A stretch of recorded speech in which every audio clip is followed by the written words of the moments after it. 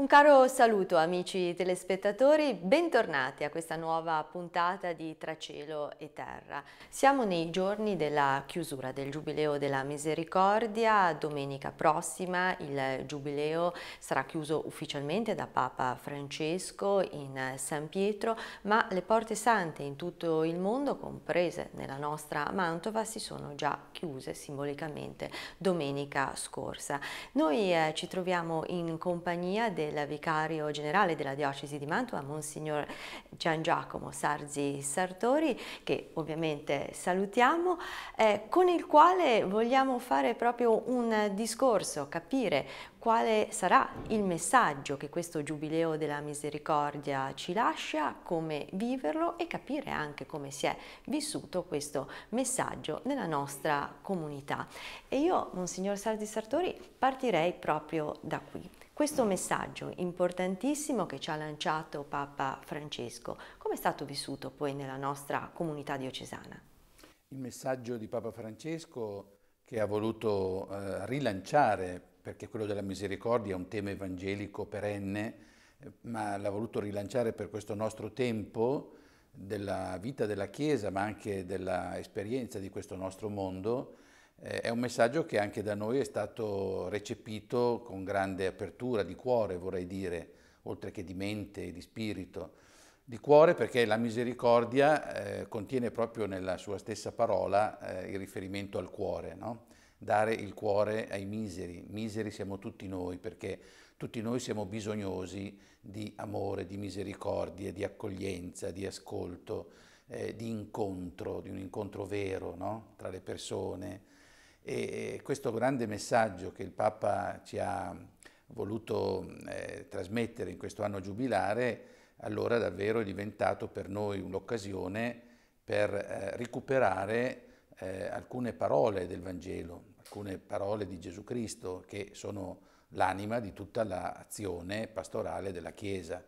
E quindi dovrebbero essere lo stile dei cristiani, essere misericordiosi potremmo dire significa essere dei cristiani che vivono fino in fondo il Vangelo, perché Gesù nel Vangelo eh, ha continuamente parole e gesti di misericordia, quindi di apertura all'altro, quindi di ascolto profondo della persona nelle sue istanze, nelle sue esigenze, nelle sue attese, quindi di anche tentativi concreti di risposta nell'accoglienza, che vuol dire talora perdono, altre volte significa valorizzare eh, l'altro, eh, oltre che se stessi, vuol dire donare, eh, vuol dire ecco, non giudicare per condannare, ma cercare le strade per la riconciliazione e anche per il recupero delle, delle, cose importanti della nostra vita, che sempre è possibile recuperare, anche per chi sbaglia. Eh, e quindi tutto questo stile, questo metodo della misericordia direi che per noi è stato eh, davvero un, così, un messaggio molto importante anche perché non dobbiamo dimenticare che l'anno della misericordia si è aperto e si è svolto in gran parte per noi della Chiesa mantovana mentre si svolgeva pure il nostro sinodo diocesano.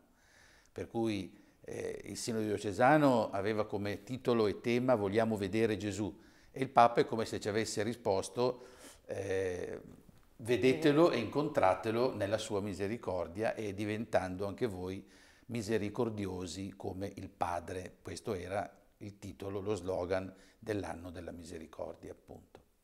Come continuare a vivere il messaggio del Giubileo e soprattutto voi avete dato delle indicazioni ad esempio alle parrocchie? Sì, noi abbiamo eh, scritto alle parrocchie una nota pastorale proprio in occasione della chiusura del Giubileo della Misericordia il 13 di novembre scorso, in cui eh, si voleva sottolineare anche qualche aspetto da portare avanti per non chiudere l'anno della misericordia eh, nel senso eh, della sua tematica, la quale invece non si chiude ma rimane permanentemente nella vita della Chiesa. Si è chiuso il tempo dell'anno giubilare, ma non si è chiuso e non si potrà mai chiudere per noi cristiani il tempo della misericordia. Ecco. Quindi ai sacerdoti, alle parrocchie, abbiamo inviato una nota che eh, è stata condivisa con il Vescovo, il quale ci ha tenuto proprio eh, a far conoscere anche 3-4 aspetti in concreto. Innanzitutto si è chiesto ai sacerdoti di mantenere viva eh, e di custodire la memoria di questo Giubileo della Misericordia nella predicazione e in tutte le forme di evangelizzazione, come a dire che nostra, nel nostro annuncio del Vangelo, della parola, dobbiamo soprattutto concentrarci proprio su questo nucleo fondamentale che è la misericordia di Dio ed è il volto della misericordia che Dio ci ha dato, che è Gesù Cristo. Quindi concentrarci di più sulla figura, sulla persona di Gesù. Poi ecco, una pastorale penitenziale più attenta, quindi l'esperienza della misericordia di Dio eh, attraverso anche eh, il sacramento della misericordia che è la confessione, da riscoprire, da rimotivare, da rilanciare anche da, eh, da, da, illustrare, da comunicare, vorrei dire, nei suoi contenuti più profondi. Il Papa ci sta insegnando continuamente che Dio non, non vede l'ora di perdonarci tutti no? e di accoglierci tutti perché non si stanca mai di perdonare, mentre noi tante volte ci stanchiamo di chiedere il suo perdono, che invece vorrebbe darci con totale sovrabbondanza e ricchezza di amore. Poi eh, abbiamo sottolineato un altro punto importante, cioè custodire la memoria del Giubileo e mantenere viva l'attenzione sulla misericordia nella recezione di quel grande documento del Papa che è la Moris Letizia, cioè quel documento eh, sulla famiglia e sul matrimonio che è stato il frutto di due sinodi eh, della Chiesa. No? Eh, il Papa tiene molto questo tema della famiglia e ci ha eh, donato un testo ricco, ampio, complesso, nel quale si invitano tutte le comunità cristiane a riprendere in mano tutte le questioni inerenti al matrimonio e la famiglia, ma soprattutto in una chiave positiva, no? eh, puntando su questo grande eh, tema che, che, sottostà e che deve animare tutte le questioni, anche le più delicate, eh, l'amore, la gioia dell'amore tra le persone, no? quindi tra due sposi, in una famiglia, e quindi qui c'è da mettere in atto molta misericordia, molto stile di misericordia e quindi educare le comunità anche all'accoglienza di tutte le situazioni umane e spirituali che hanno a che fare con le questioni familiari.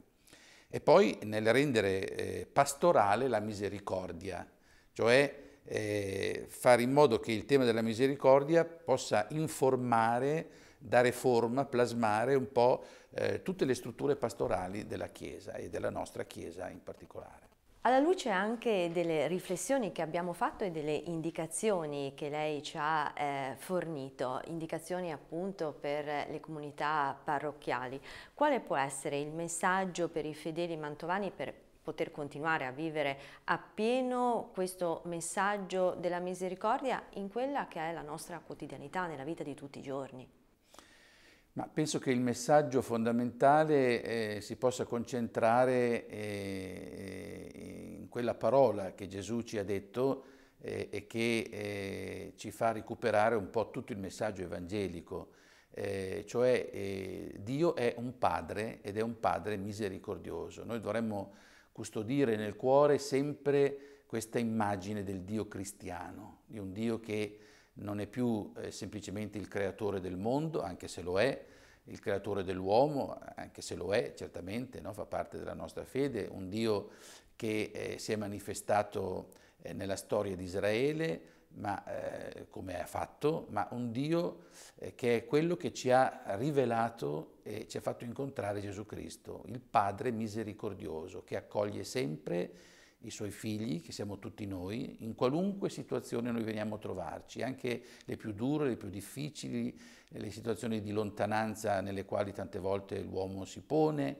Dio è sempre pronto a recuperarci al suo amore e in questo è misericordioso e eh, quindi è onnipotente soprattutto perché è misericordioso, quindi è in grado sempre eh, di riabbracciare i suoi figli, che siamo tutti noi, e quindi non dobbiamo mai temere questo Dio, perché Gesù ci ha insegnato non a temerlo, ma a lasciarci incontrare come Lui vuole fare. Se noi capissimo fino in fondo questo grande mistero che però è la rivelazione cristiana, credo che si spalancherebbero porte, si aprirebbero strade, eh, saremmo nella capacità, nella possibilità di, di, di nuovi inizi sempre nella nostra vita.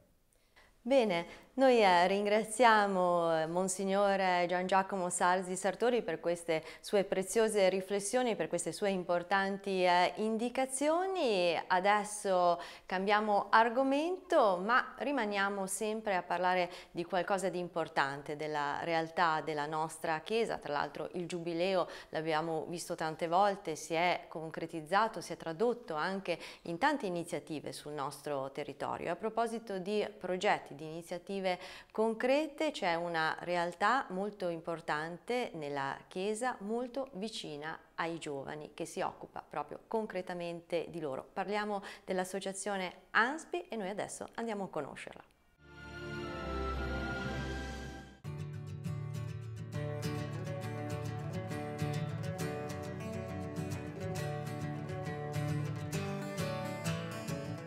Saluto a tutti, questa seconda parte della puntata di Tra cielo e terra è dedicata come detto all'ANSPI e noi ci troviamo nella sede dell'associazione in compagnia del presidente Don Giampaolo Ferri a cui chiedo innanzitutto l'associazione nazionale San Paolo Italia di che cosa si occupa. L'associazione si occupa anzitutto di oratori e dicendo oratori parliamo di ragazzi, di giovani ma non solo perché l'associazione si occupa anche di famiglie e di anziani, insomma tutto il mondo che ruota attorno alla comunità cristiana e per il quale l'associazione è nata e ogni giorno lavora nel territorio mantovano. Come opera l'associazione e qual è la sua mission? Certamente la mission della nostra associazione è l'educazione, quindi affiancare le parrocchie nel loro impegno educativo e quindi tutto ciò che sa di educazione, di accompagnamento ad un'umanità ehm, socializzata, eh, un'umanità solidale sono le azioni che vengono sostenute, promosse e accompagnate dalla nostra associazione che diventa anche momenti di divertimento, momenti di incontro, momenti di dibattito, di riflessione, ma anche di svago, di gite, di sport e di festa. Un'associazione, poi ne parleremo in modo più approfondito, che vede protagonisti i giovani.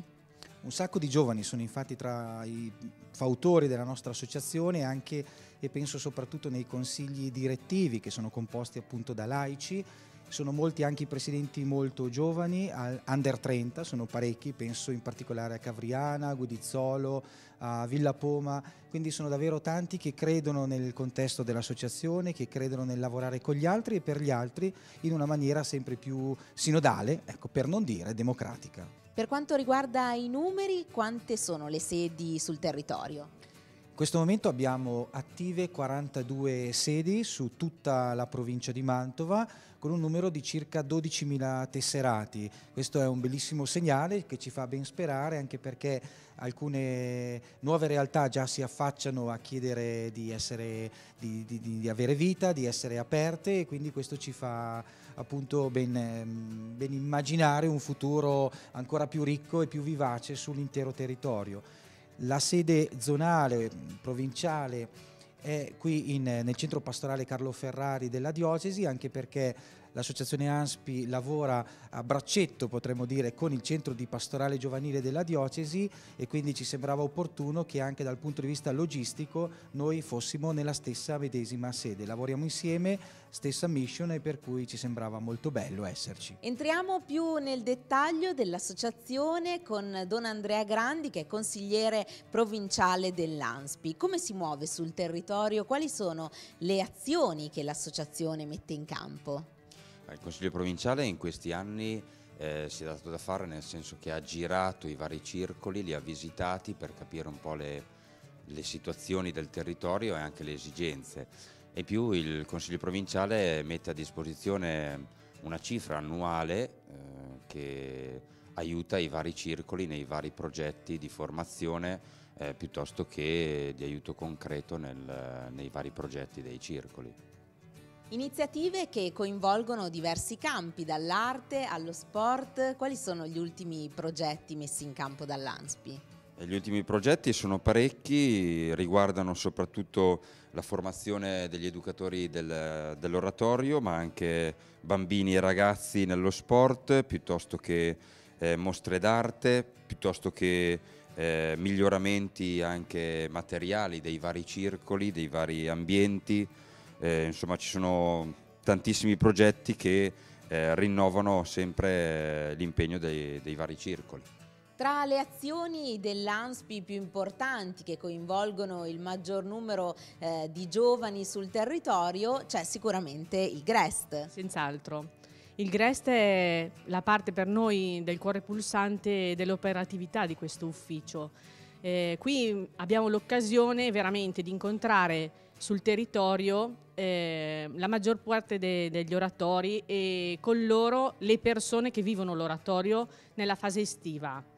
Eh, partiamo dalla progettazione già nell'inverno con eh, la scelta del tema eh, per quanto riguarda il Grest e poi c'è tutta una serie di momenti che per noi sono molto importanti a partire dalla presentazione del Grest che avviene in una giornata o in serata e questo coinvolge principalmente noi della segreteria ma poi eh, diversi giovani sono coinvolti insieme a noi alla, alla, lo strutturare, alla progettazione, proprio l'ideazione della giornata stessa, perché non vogliamo che sia una semplice vetrina per la presentazione di sussidiazione e altro e del materiale, ma soprattutto vogliamo far vivere un'esperienza a questi responsabili che poi a loro volta vivranno i loro oratori insieme ai tanti ragazzi che nell'estate eh, vivacizzano gli oratori. I giovani sono all'incirca 3.500-3.600. Eh, generalmente le attività sono quelle di eh, creare la, il gioco, la relazione con i più piccoli e qui i, la massima espressione la, la portano i ragazzi eh, con la loro creatività e con il loro talento perché prende, partendo dal tema proposto, poi hanno l'occasione, la possibilità di sviluppare personalmente, mh, a seconda della, delle esigenze del territorio, eh, come meglio loro credono insieme ai loro responsabili l'attività stessa. Quali sono i temi che avete proposto in questi anni per fare qualche esempio? Allora, partiamo da Everybody che era eh, un, la tematica sul corpo, abbiamo l'altro anno eh, trattato il tema della tavola e quindi tutta la relazione col cibo e l'anno scorso avvincente la tematica del viaggio. Eh, veramente per noi è stata una soddisfazione poter creare e ricevere eh, anche critiche costruttive per la realizzazione della presentazione. Le critiche ci servono per migliorarci e quindi siamo ben contenti di ricevere senz'altro i complimenti ma anche le critiche per poter far meglio l'anno successivo. Come rispondono i giovani a queste attività che voi proponete, ma soprattutto eh, qual è l'importanza di un coinvolgimento eh, per un lungo periodo? Guardi, eh, sinceramente la possibilità per un giovane di vivere attivamente l'oratorio è molto importante perché ehm, si dà loro una grande responsabilità eh, accompagnare i bambini tutti i giorni, dalla mattina alla sera spesso, nell'oratorio e con le attività, le gite, eccetera, non è una cosa da poco. Eh, chiediamo a loro molto, ma loro hanno molto da dare. È bellissimo trovarli nei pullman, eh, sui mezzi pubblici il mattino con la loro maglia che li identifica come l'animatore. E loro la portano fieri e orgogliosi, per cui eh, la soddisfazione più grande per noi che lavoriamo materialmente qui è quella di poter vivere e vedere vissuto questo Grest. E restiamo in tema di oratori perché parliamo di un progetto specifico rivolto ai giovani cofinanziato da Regione Lombardia. Di che cosa si tratta? Si tratta di un progetto che si chiama Progetto Giovani Insieme che è nato dalla collaborazione tra gli oratori delle diocesi lombarde con la Regione Lombardia. È stato pensato per gli oratori con l'intenzione eh, di fornire agli oratori una figura educativa che fosse stabile e eh, che potesse in qualche modo aiutare lo sviluppo delle attività che nell'oratorio si svolgono e quindi poter eh, creare attività nuove, sostenere le attività già esistenti e in questo modo quindi sostenere gli oratori. E siamo già in corso di terza annualità e la risposta è buona e sembra che questo progetto possa effettivamente raggiungere gli scopi prefissi. Quali sono le nuove attività che hanno affiancato quelle già esistenti? Beh, in questi tre anni abbiamo visto molte attività eh, nascere sul luogo in cui i ragazzi sono stati inseriti. Eh, in particolare abbiamo visto nascere dei dopo scuola che mh, mm, ospitano i ragazzi anche soprattutto nel periodo infrasettimanale, quando gli oratori normalmente non sono molto movimentati, diciamo, e sono stati creati attività serali, sono stati creati nuovi gruppi, e possibilità di aumentare le attività eh, del periodo magari domenicale oppure il pomeriggio del sabato, che sono quelle più frequentate, e sono stati fatti molti miglioramenti anche agli ambienti, ristrutturazioni, sistemazioni di teatri già esistenti, magari i campini.